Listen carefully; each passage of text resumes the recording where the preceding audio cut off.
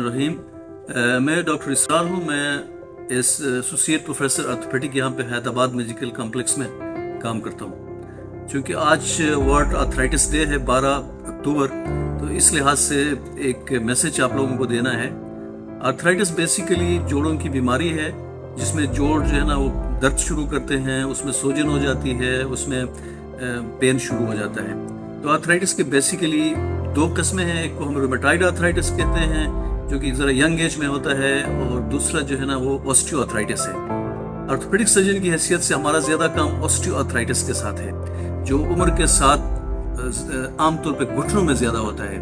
ये बीमारी जो है ना, ये उन लोगों में ज़्यादा होता है जिनका वज़न ज़्यादा हो, जो ज़मीन पे ज़्यादा बैठते हैं और जो ज़्यादा जो है ना ऊपर नीचे पहाड़ों पे चढ़ते हैं, उन लोगों में ज़्यादा होता है। इसकी प्रिवेंशन के लिए ये ज़रूरी है कि कोशिश ये करनी चाहिए कि इंसान का वज़न ज़्यादा ना हो।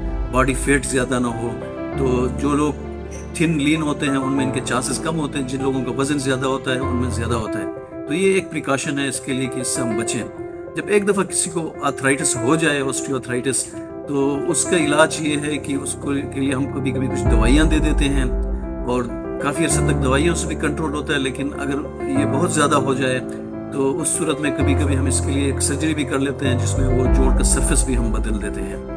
तो आज के दिन की मुनासबत से मैं ये पैगाम दे दूँगा कि आर्थराइटिस से बचने के लिए अगर सिर्फ़ एक प्रिकॉशन लेनी है तो कोशिश ये करनी चाहिए कि आप लोगों का वज़न ज़्यादा ना हो। आप लोगों का बहुत शुक्रिया।